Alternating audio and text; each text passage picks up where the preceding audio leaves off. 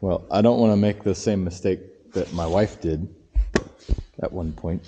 You know, driving through the yard with the skid steer when it was wet. That's just rude.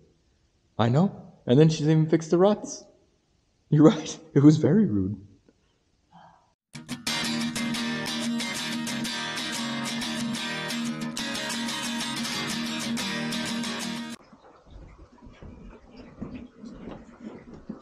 I did have plans to put our new flagpole up. However, remember how much water was in that hole yesterday when I showed you? Yeah, there's even more now. So I guess we are going to skip over that for now and move on to some shop work. It was just supposed to be cold today. It actually wasn't supposed to rain hardly at all. Weatherman got us good. Man. On a brighter note, the sheep do not seem bothered by the rain.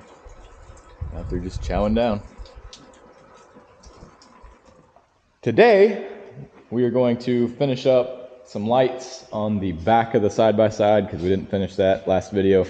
And we are going to switch two of, so these two outside lights right here. We're going to take the outside lights off. So this one right here, and then that far outside one over there. We're take them off and we're going to switch them out with some floodlights. And then we're adding floodlights down here on the step so that we can see clearly out to the side of the tractor. Because right now, I can see very well. Here, actually, I'll show you. Let me turn these lights off real quick. It'll make more sense then. But that's just our driving lights, which that's okay. We want those to be more of a beam so that it doesn't reflect off the hood or anything like that. I mean, it's it's on the hood, but not nearly as bad. And I know on the camera it's going to show that it reflects really bad off this pipe, but this pipe painted black, and it actually is not bright at all off of that pipe. When we turn the floodlights on, so the floodlights are going to turn these lights on behind me, which, like I said, it shows, it lights up everything really well. But what it doesn't do, so if I look out the side window right here, you can see that if I turn these back off or back on, the light that's next to us is pretty minimal. And while right now it doesn't matter so much because we have a lot of daylight coming in, it matters a lot at night because I really cannot see well to the side of me.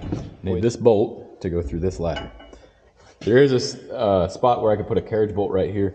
I'm not going to do that because I do not want this on the bottom step because going through tall grass or in general, anything that's going to get hit up here, anything that come through here, it'll rip that light off potentially. We're going to drill this right here. I want to keep the red wire, which is our hot, I want to keep that inside of this rubber sheathing. However, this ground wire, I want to pull it so it rips the side here. That's what I'm really aiming for.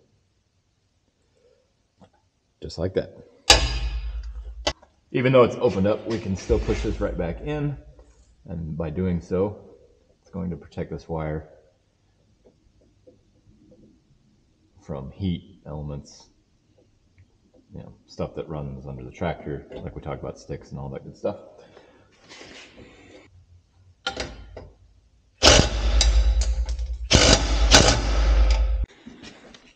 Both sides are already mounted. We have not set this up. I'm not going to lock this until after I turn them on at night and see where they're pointing. I think that where they're at's probably pretty good, but just want to double check that. Other thing is, you notice that we still don't have wiring done. Well, that's because I have to go up top and take the lids on top of the cab there. We're going to take the six bolts, I think it is, off so that I can run the same wire that is powering this light right here. We're to jumper off of this one and come down this side of the cab through this tube right here. And we're to do the same thing on the other side, and that'll take us our power directly to these lights.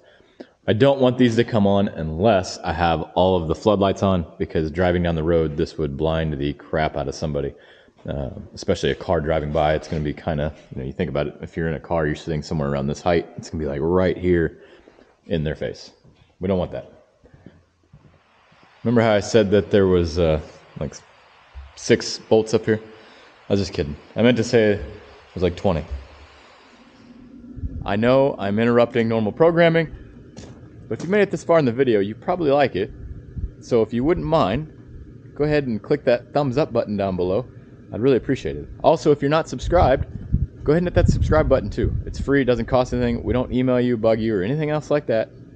It's just to let you know that whenever we post a new video, it will uh, YouTube will will let you know about it. Thanks.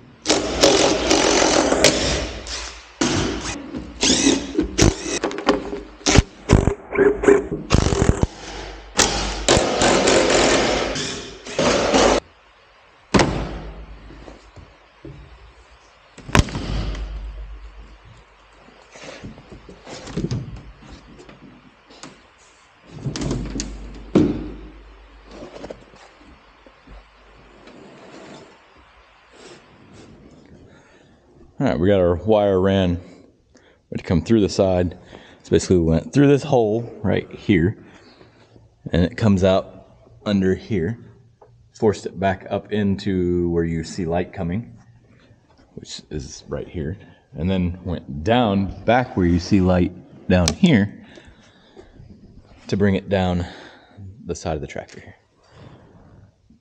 It's really not that bad. There's covers that make it really simple to run whatever you need to run down the sides of the cab. So just a little bit time consuming taking everything apart.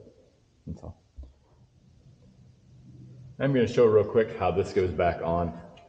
Um, I think there's going to be other folks like on the Allis Chalmers side of the house that are curious about it. So all the way up and down. So you, this is where your handles go, you know, like when you're walking up.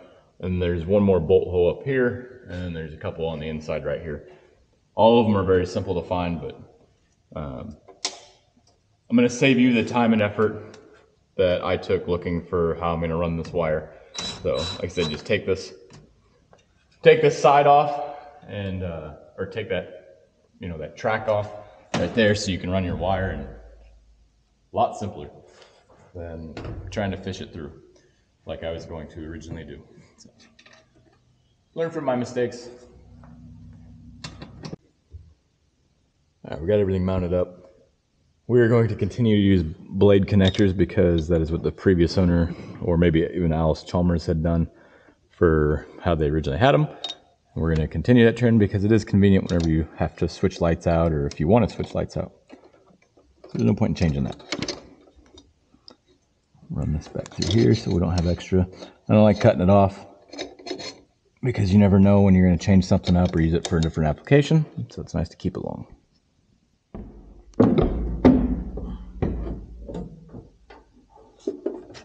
Tell you what, that was a lot of disassembly just to run two wires. What? There's a lot of disassembly to attempt to run two wires. Don't you know it's dangerous to leave the door open? Hmm? For two reasons. You know what they are? You can walk around, smack your head on it. One is, yeah, this right here. Which, granted, this tractor's not tall enough to You get you in the melon. should be looking where you're going. Think you're smart, do you? Two, you can run the battery dead with the dome light. You didn't realize the tractor's that fancy.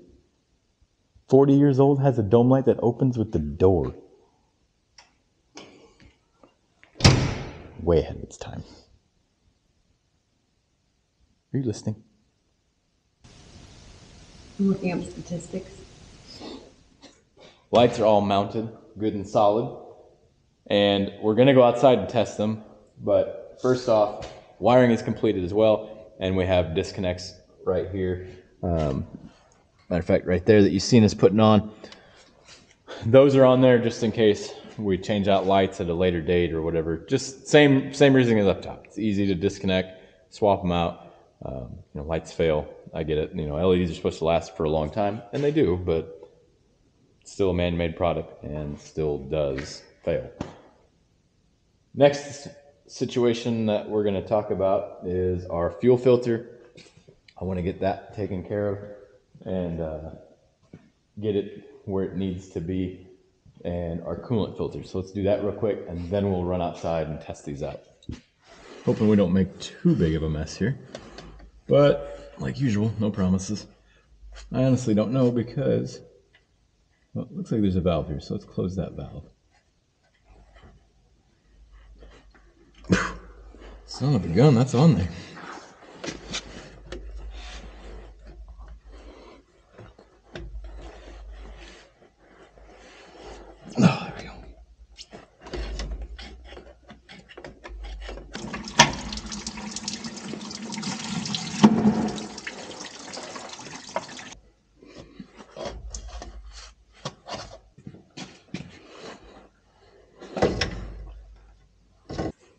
Can probably tell the loader does not make maintenance simpler. And I'm going backwards here.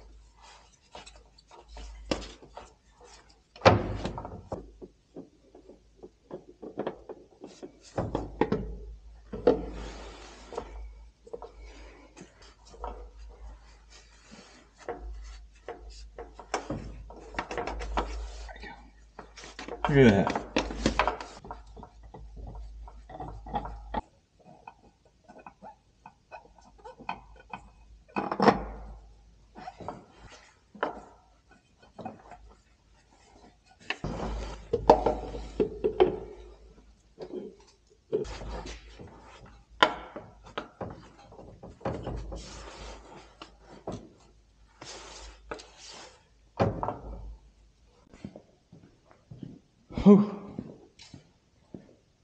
The loader makes changing filters a, a little bit of a pain. Doable, but a little bit of a pain. Because you can't take those side panels off. You can take those side panels off, or even without the side panels off, honestly, you can access all the filters relatively easily, but it's neither here nor there. On to bigger and better things. Let's get this fired up, get her out of here, and uh, let's go test our lights out because it is dark out now. So we're gonna give you the easiest explanation of this possible. So right here, these are our driving lights. These are basically two spotlights that are in the center of the tractor on the front. The two outside ones that you've seen us replace used to be spotlights as well. Well, they are no longer spotlights, they are floodlights. And they make it to where we can see incredibly well. And as a matter of fact, it almost makes it to where we can see on the side. Still have a blind spot, but not nearly as bad. Over here, there's absolutely no blind spot because on this side I still have the I have a step light on and hooked up. The other one is just it's all wired and everything, but I disconnected it just for this demonstration to explain what and how it's going to help. So you can see right here there is no blind spot. I can see perfectly fine. On this side is not the case. On this side I have a blind spot. And it's not terrible, but where it becomes an issue is when I'm driving on property that's not mine. Mm-hmm. When I'm driving on property that's not mine, it makes it very difficult for me to know for sure what something is until I'm already there. And the biggest thing that we will do at night is brush hogging. And that's because sometimes weather will allow us to cut hay at night, but reality is we will never rake or bale at night.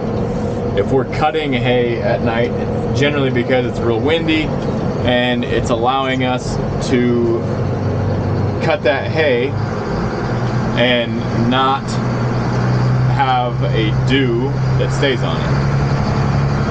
Well, when those opportunities come by, it is important, especially on this side, for me to be able to see what is going to go into that mower conditioner. The brush hog is pretty forgiving and it's really a pretty stout piece of equipment that if you run into something like a say a stump that has stump jumpers on it, it's not going to damage the equipment so much. The mower conditioner is not forgiving at all, especially the one we have. It doesn't have shear hubs. It's gear on gear, and if you hit something hard, it's going to strip teeth. And unfortunately, all those gears share one bar, and those teeth are going to go through all of them, or all the gears on that bar. So, I hope this helps as far as explaining the importance of our lights.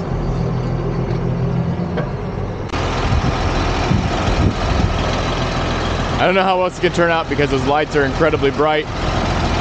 But from the outside, this is what you see. So we have this light right here on the step pointing out, and then all the way around, right?